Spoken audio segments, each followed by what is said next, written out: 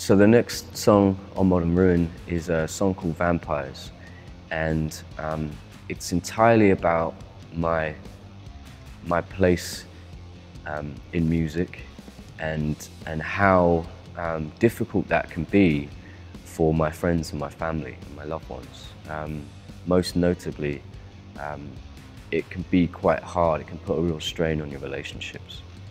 Um, I wrote this song at four in the morning um, after my wife had called me an egomaniac.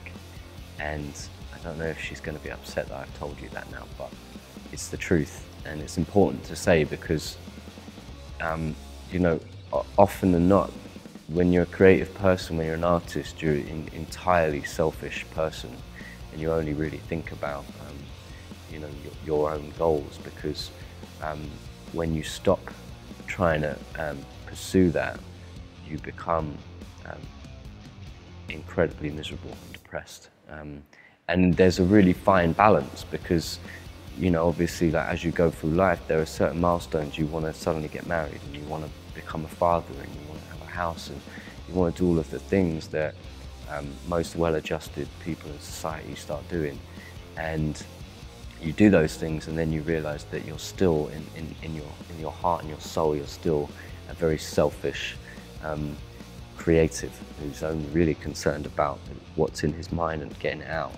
And that was equally difficult for my, for my partner because she's an incredibly talented creative as well. She's a better singer than me, she's a better artist and a better tattooer.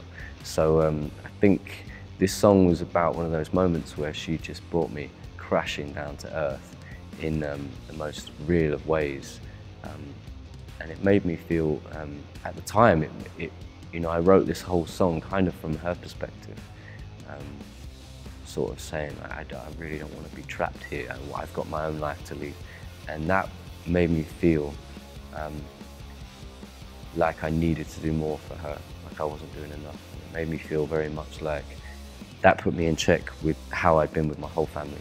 You know, what, what was I, I had been so consumed about what was right for me um, that I had completely forgotten. I'd lost touch with the reality of things and and um, it threw me back into my body with a stark jolt that made me wake up and and it made me begin to start putting people before me um, the best I could you know I have I have a, a, difficult job in the fact that my work kind of we go on tour and that is kind of in the calendar and it can't really be moved.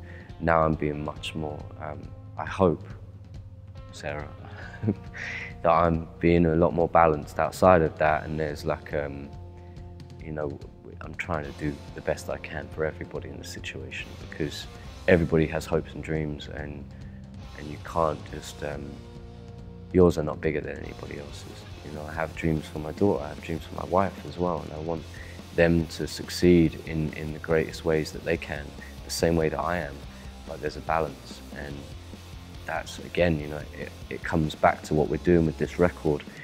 The record is about balance, it's about finding your place. I think I've been looking for answers my whole life and um, only now am I beginning to understand the questions. So it's, um, it's taken me a long time, 32, and uh, finally, finally getting to grips with it.